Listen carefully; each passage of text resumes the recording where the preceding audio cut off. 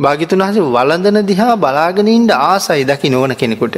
සාමාන්‍ය කෙනෙකුට කෙනෙක් බලාගෙනට කෑමකණ්ඩ අපහසුයි. බලාගෙනන්නවන මොකද මට අවශ්‍ය විදිහට නිදහසේ වලඳන්ට ආහාර ගණඩ නෑන රගොල්ල බලාගෙන ඉන්නවා.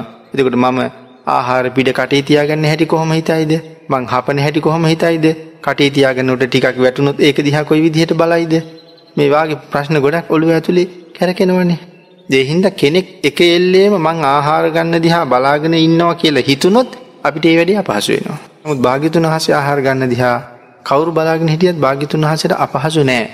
හේතුව තමයි මට හිතෙනවා අපි සමහර වෙලාවට වැඩි පිරිසක්. සමාජයට පේන්ඩ ජීවත්වෙන එක්කෙනෙ. මම පෞද්ගලිකව තනිවෙච්චාහ මන්තාව එක්කෙනෙ.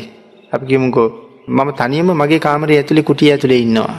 ඒ වෙලාවට මං හැසිරෙන විදිහයි සමාජී හැසිරෙන විදිහ දෙකක්. භාගිතුන් වහසේ ගොය දෙකම එකක්. එනිසා සැඟවිච්ච දෙයක් ඇත්තෙම නෑ. එනිසා භාගිතුන් හස වලඳනකොටත් ලක්ෂයක් බලාගෙන හිටියත් භාගිතුන් හසර ඒක බාධාවක් වෙන්නේ වෙන්න නෑ.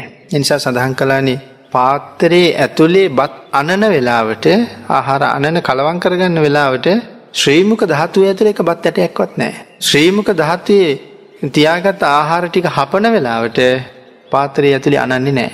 අනන වෙලාවට හපන්නේ නෑ හපන වෙලාවට අනන්නේ නෑ.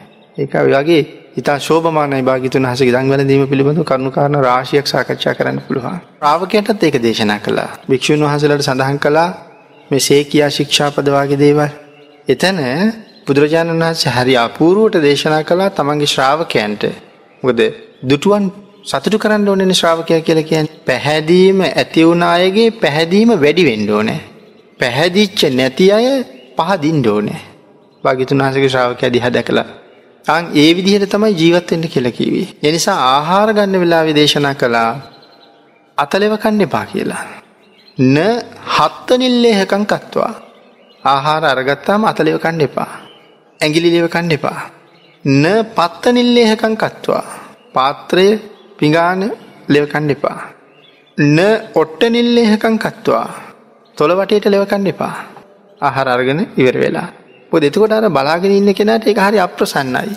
චපු චපුකාරකං පුංජිස්සාමි. ආහාර ගන්නකොට න චපු චපුකාරකම් පුංජිස්සාමි. කටේ හඬක් නගන්න එපා චපු චපු හඬ යන විදිහට ආහාර ගන්න එපා. එතර අහගෙන ඉන්න කෙනට පිළිකුල් සහගතයි. න සුරුසුරුකාරකං පුංජිස්සාමි.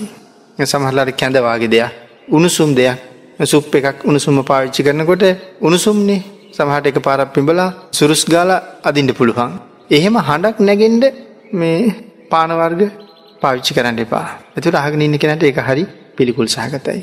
භාග්‍යතුන් වහන්සේ ඇතිකරගත්ත ඒ සංවරය භාගිතුන් වහසගේ ශ්‍රාවකයටත් එවිදිට භාගිතුන් වහස දේශනා කළා. ඒ භාගිතුන් වහසගේ ශ්‍රාවකය කියලකි භාගිතුන් වහසගේ දරු ගොර භාගිතුන් වහසගේ පුත්තු මහරහතන් වහන්සේලා. මහරහතන් වහන්සේ ගැන සඳහන් කළේ භාග්‍යතුන් වහන්සේගේ ලයින් උපන් කියලා. භාගිතුන් වහසගේ හද මණ්ඩලෙන් ඉපදිච්චාය. ඇති ඒතර භාගිතුන් හසක දරු. එනිසා අම්ම කෙනෙක් තාත්ත කෙනෙක් දරුවෙකුට යම්සේ මේ සමාජය තුළ යහපත්තෙන්ට උපදෙස් දුන්නද ඊට වඩා කෝටි ප්‍රකෝටිවාරයකින් භාගිතුන් වහසේ යහපත්තෙන් උපදෙස් දිල තියෙන්නේ. සමාජය යහපත්තෙන් දෙතරක් නෙමෙයි සංසාරම යහපත් කරගන්නට.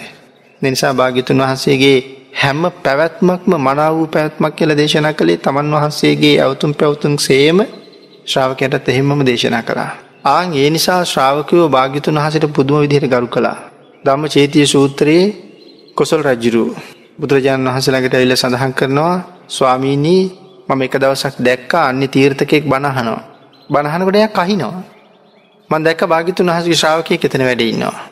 එයා මෙයාට කටින් කීවෙත් නෑ අතින් කිවෙත් නෑ ළඟට ගිහිලා යන්තන් කකුලෙන් එන්න. කකුලෙන් ඇනලා ඇහෙන් කීවා මගේ භාග්‍යතුන් වහසේ ධර්ම දේශනා කරන තැන සද්ධ කරන්න එපා. කකුලෙන් ඇනල ඇහෙන් කිවලියට යන්න කියලා. ස්වාමිනි ඒ තරමට භාග්‍යතුන් වහසේ ධර්ම දේශනා කරන තැන ශ්‍රාවකය හික්මිලා හිටිය. ස්වාමිනි මම රජෙක් මට පුළුවන් ඕන දෙයක් කරන්න. ම මිනිහෙක් මරුවත් මට නර්දාන්ට කෙනෙක් නෑ මට ඔන්න මරන්න පුළුවන්. මට එහෙම කරන්න බලයක් තියෙන බව දන්නවා මගේ මිනිස්සු මගේ ඇමතිවරු. මේ පහළුවක් විස්සක් තියක් කතලයක් එකතු වෙන මගේ රාජ සභාවේ මම කතා කරන වෙලාට මං ඒගොල්ලන්ට කියහම නිශ්ශබ්ද වෙන්න කියලා එමිනිස්මන් කියනෙක් ගණන් ගන්නෑ ම නිශ්ද වෙන්ඩ කියන නිශ්බ්දයනවා අයි කතාව පටන් ගන්න පිටි පසේ මට පුළුවන් මරලදාන්න මට එරෙහ නැගිටින්ට කවරුවත් නෑ නවත් මිනිස් බය නෑ නමුත් භාගිතුන් හස ධර්ම දේශනා කරන තැන භාගිතුන් හස කිසි කෙනෙකුට කරදරයක් කරන්න නමුත් කිසි කෙනෙක් කතා කරන්නෙත් නෑ ඔබහන්සේ ගැන ඒ තරම්ම තරම්ම ගෞරවයක් තියෙනවා. කියල මේ භාගිතුන් වහසේට ස්තුති කරනවා. භාගිතුන් වහන්සේ කෙලකෙන මෙන්න මේ වගේ ශ්‍රේෂ්ඨ උත්තම රත්නයක් කියන කාරණාව සහිපත් කරනවා.